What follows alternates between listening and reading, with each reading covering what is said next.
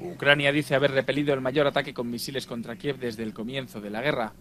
Rusia, por su parte, afirma haber alcanzado un sistema de defensa norteamericano Patriot en la capital del país, entre otros objetivos. Informes de las Fuerzas Armadas ucranianas mencionan el derribo de seis misiles supersónicos de última generación Kinzhal y nueve misiles de crucero Caliber. Según esta información, solo cayeron restos sobre la ciudad, hay daños en algunas zonas y varias personas resultaron heridas. Las autoridades rusas han declarado que es imposible derribar misiles Kinzhal, especialmente con los medios de los que dispone Ucrania. Moscú calificó de falsa esa información.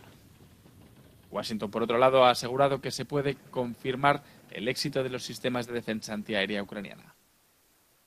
Y en otra parte del país, Kiev afirma haber avanzado en su contraataque en la ciudad de Bakhmut, pero ha querido dejar claro que no se trata de la contraofensiva de la que se lleva hablando meses.